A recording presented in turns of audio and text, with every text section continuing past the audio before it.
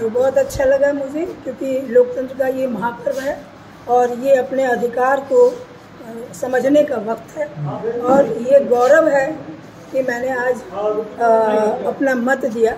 एक एक मत इतना कीमती है कि हर मत का एक वैल्यू है। इस पर तो आपका एक विशेष गायन भी है।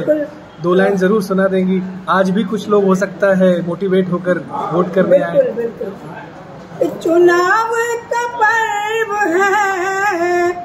चुनाव का पर्व है, सोच लीजिए।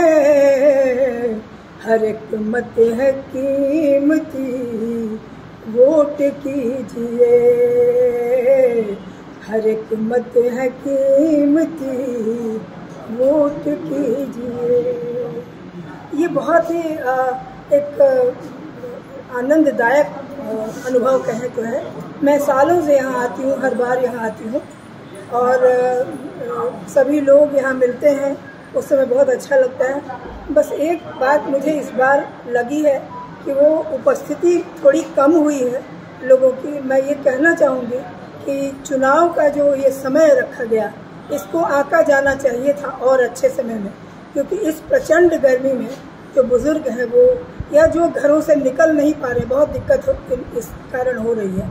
इसीलिए आगे ज़रूर इसका ध्यान रखा जाए कि चुनाव हम किस समय चुनाव को रख रहे हैं। हालाँकि ये मजबूरी भी होती है लेकिन फिर भी बहुत अच्छा लग रहा है और अ, अ, मैं इस चुनाव में सबों को अपनी शुभकामनाएँ देती हूँ।